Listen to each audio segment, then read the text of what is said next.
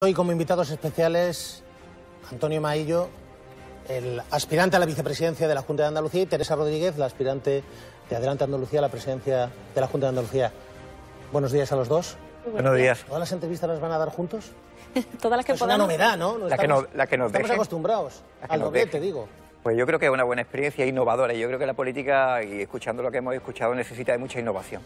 Teresa Rodríguez. Nos gustaría transitar hacia portavocías cada vez más colectivas. De hecho, somos cuatro componentes en Adelante Andalucía, queremos ser más y creo que una nueva forma de hacer política también pasa por ir transitando de los personalismos a las portavocías colectivas, creo que aporta.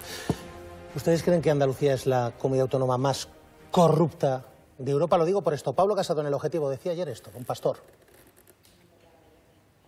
Que- Lo que se puede decir es, bueno, vamos a tener eh, la estrategia o la táctica electoral de decir una cosa de una forma o de otra. Pero decir que según la Unión Europea, Andalucía es la región más corrupta de Europa, datos. Decir que está a la cola de empleo o de satisfacción de los servicios públicos o eh, de déficit o de deuda, Ya, datos. Ustedes son muy críticos con el gobierno del Partido Socialista. ¿Es Andalucía la región más corrupta de Europa, como dice Pablo Casado?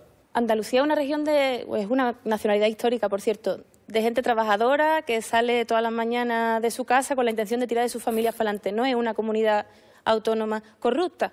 Digo porque en los últimos tiempos parece que Andalucía sale a relucir siempre en los, titulares eh, como eh, pues el centro y el lugar donde todo lo malo opera. Y hay que diferenciar el gobierno andaluz de Andalucía. El gobierno andaluz acumula los casos de corrupción con más número de imputados y en algunos casos con más cantidad de dinero defraudado, cosa que hay que señalar. Y el resultado de 40 años de gobierno del mismo partido y de, especialmente, lo que vemos en el caso de los ERE, lo que acabamos de ver hace un momento en las imágenes, que son 25 años de autonomía sentados en un banquillo.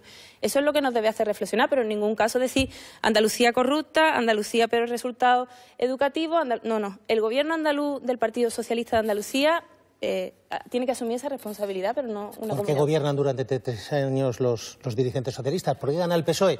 Ustedes son también de la tesis del PP de red clientelar? ¿Por eso los andaluces votan al Partido Socialista? No, resistencia a las derechas. En Andalucía eh, ha habido históricamente una resistencia a las derechas. Hay memoria de quiénes eran los señoritos de los pueblos, de quiénes eran las derechas de los pueblos y hay una resistencia a, a dejar gobernar a la derecha. Y por otro lado, a mí me gusta asumir la responsabilidad también de eso.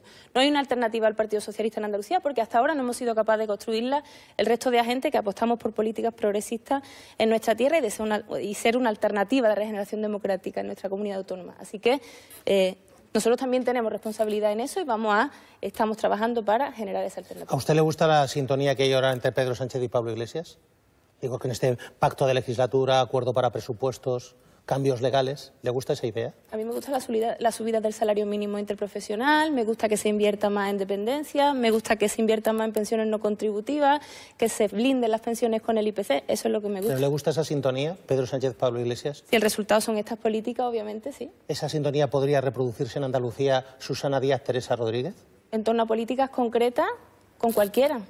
No con Susana Díaz, con cualquiera. Es que nuestro objetivo es sacar adelante un programa Cualquiera que electoral. no sea el PP o Ciudadanos, imagino, ¿no?